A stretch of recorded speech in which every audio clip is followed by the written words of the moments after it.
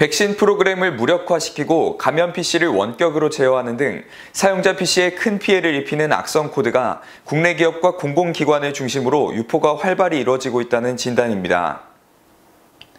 이스트 시큐리티는 19일 국내 기업과 기관 종사자를 대상으로 악성 코드 첨부 이메일이 급속히 유포되고 있다며 사용자의 각별한 주의를 당부했습니다. 출처가 불분명한 이메일의 첨부 링크나 파일은 절대 클릭하지 말아야 한다고 조언했습니다. 이는 사이버 공격 피해를 예방하기 위한 가장 기본적인 보안 수칙이라고 강조했습니다. 매일 수신자가 첨부된 파일을 열람하고 문서를 정상적으로 보려면 MS 워드나 엑셀 프로그램 상단에 표시된 보안 경고창에 콘텐츠 사용 버튼을 누르라는 안내 문구가 나옵니다.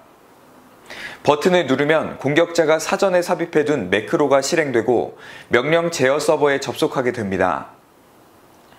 이후 추가 악성 코드가 MSI를 활용해 PC로 수차례 전달된 다음 최종 악성 코드를 실행합니다.